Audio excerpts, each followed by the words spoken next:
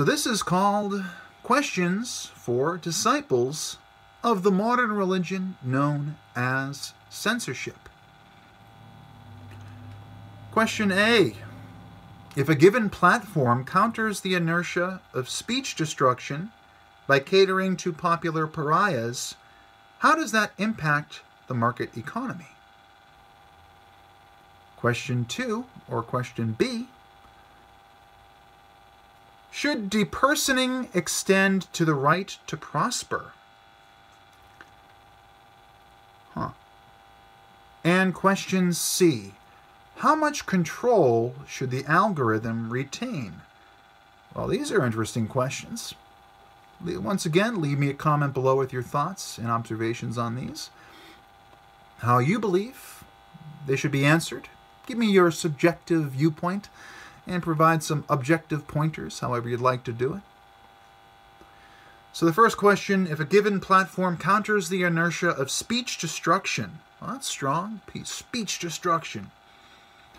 If a given platform counters that inertia, the destruction of speech, by catering to popular pariahs, how does that impact the market economy? Well, if you're on Gab, you know a little bit about that. I recently saw Alex Jones's profile there, and I'm like, whoa, Alex Jones is on Gab. And you should be too. Check out their Dissenter app, www.dissenter.com. Lets you comment on any URL online. They also have their free speech web browser. Check it out. And Gab, of course, is an alternative, a free market alternative to Twitter. It is a social media platform that offers very similar, very similar format. And I am real Jeff Tidwell over there. So if you cater to a popular pariah, so Alex Jones is a great case in point. Here's a popular pariah. Here's somebody, along with InfoWars, that was completely depersoned and deplatformed.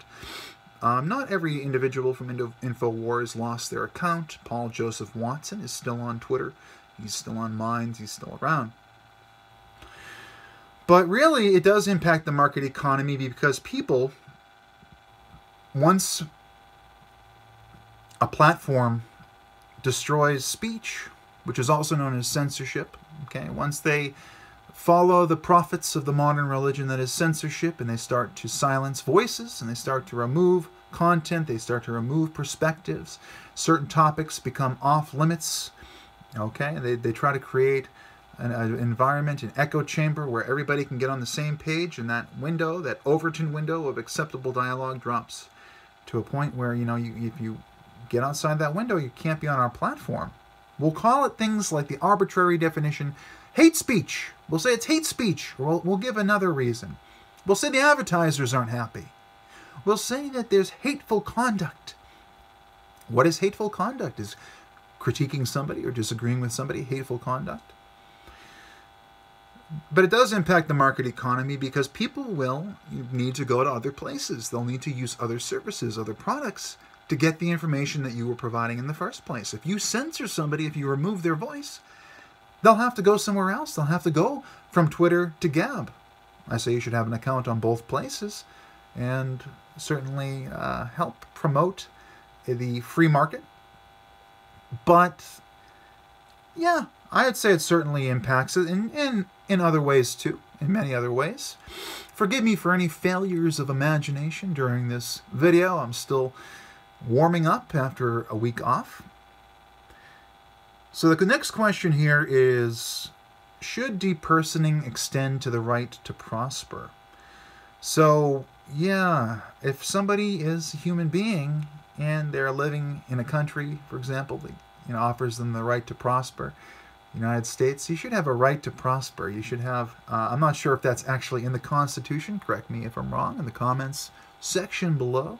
Send me a tweet. Um, but uh, should depersoning extend to the right to prosper? I think that that's going a little bit far. Now, depersoning isn't just deplatforming. Depersoning is when you essentially remove somebody from the greater internet, the greater society, the greater world. It's not just taking somebody's voice away, it's saying, well, you can't bank, you can't exist in the world. You're, you, you can't have any hosting, there's no you know, even you know, just because my platform doesn't like you, depersoning involves a whole other slew of of controls to get that person away and limit their right to prosper. They, they can't prosper because everybody's blackballed them. They've been blacklisted. So I don't think that depersoning should happen to begin with, but uh, if it extends to the right to prosper, that really just destroys, that really does deperson. It goes beyond speech destruction, it destroys a person. It's almost like, you know, it's uh, exiling, it's creating a pariah. It is anti human to do that. It's not very um, conducive to the kind of civilization I think that we uh, we have intended these past few hundred years with the founding fathers and the Enlightenment and all this other stuff that's gone on. I don't think we want to be completely depersoning people. Although there are some cases where it might be more socially accepted, the consensus will decide. Um, I would not be, want to be the one to choose for sure. And how much control should the algorithm retain? Questions for disciples of censorship. How much control should the algorithm retain? So the algorithm is, of course, designed by human beings, but ultimately it's used to direct blame. They say, well, it wasn't human decision that had this person deplatformed or censored or they had their account suspended or banned for 24, 48 hours, a week, whatever it might be, 30 days. It was the algorithm. It's just all we, you know, it's like the postmodern ideology thing. We're a little get a little bit of separation there. We, we don't know what's going on with the algorithm. We designed it. We don't know what's going on. It could, it acts uh, independently. It, uh, it has its own agency. That's the algorithm. The algorithm controls everything. It controls what you see, it controls what I see, it controls what we hear. It controls a lot. It controls how we think. You know, if we see the same messaging again and again, or we see a lack, a dearth, it, it can go either in a positive direction or a negative direction. Whatever information we get, that determines our decisions. You know, of course, some would say that we, if you're working within the realm of rational free will, your brain makes the decision and you rationalize it later. Um, you know, I will say something, but my you know my brain kind of already knew what was coming. There was already this this incentive structure built in, and I'm just you know we're kind of along for the ride. Of course, I also I personally like to believe and refer to irrational free will. That's the human free will that we all enjoy uh, where we make rational decisions and we make irrational decisions, and there's you never know just how rational your decision making process is. Um, but that's a little bit off topic. How much control should the algorithm retain? Well, it has a lot of control. I don't think it should have as much as it does. But again, uh, someone asked me what to what degree I think the algorithm should control things. Um, I think that in my world, in my perfect world, my subjectively perfect world, since perfection is a fallacy, I would like the algorithm to maybe, you know, uh, you'd be able to direct it, you know, to show you what you'd like to see. But right now, the algorithm is really operating on a number of us. And again, the algorithm changes depending on which platform you're on, which program you're using, which people, which company. It's there is no one algorithm, obviously. Uh, but I would say I don't think the algorithm should have high control to direct what the narrative is or what people are seeing and doing.